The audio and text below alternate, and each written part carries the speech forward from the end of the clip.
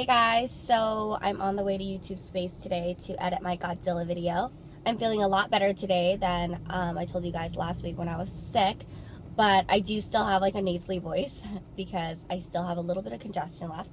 But this is my breakfast or maybe lunch too. It's a chia seed drink that I got at Costco, and chia seeds are like so good for you. I watched so many documentaries while I was sick on Netflix, and chia seeds are gelatinous, so it captures all the toxins and stuff in your body and pushes them out. So it's actually really, really good for digestion. And I got the blackberry hibiscus flavored one from Costco. It was like a pack of like six. My parents and I went to Costco so I got some and it's actually really good. I tried it earlier today, so I drank a little bit and I'm gonna be drinking it all day. I'll probably get food and stuff in between, but I need something that will like hold me throughout the day because I'm gonna be editing in the studio for a long time. So I'm doing that and yeah, so I'll show you guys like what it looks like in the YouTube space, like the editing space. I think I've showed you guys before, but usually I edit on my computer, but this time I'm editing on the big computers over there because the project is a little bit bigger and I want to see it on a bigger screen. If this crashes, I'll be so depressed. It's like the pinwheel of death. No. Please don't crash, please don't crash.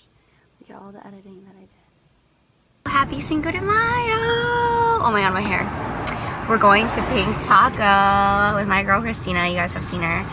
and then our other friend, Regina. Hey girl. Oh my god, so pretty. So we're going out for Cinco de Mayo to celebrate obviously the 5th of May. And we're gonna go to Pink Taco which is like this like kind of like Americanized um, Mexican restaurant. So we're gonna have like tacos and margaritas and taquitos and whatever else they have. But we're heading there right now and my makeup is kind of ratchet because I was editing all day but I'm still wearing the same shirt. But um, I'll see you guys soon and yeah I'll show you guys what it looks like inside of Pink Taco.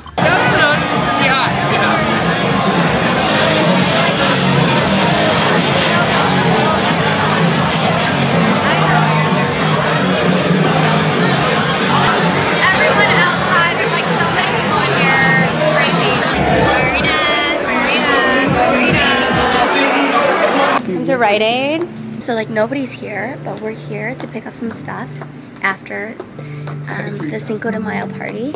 And it is crazy up in here, like no one's in here. It's crazy, crazy, crazy up in here. So, so crazy. crazy. But um, what are we getting?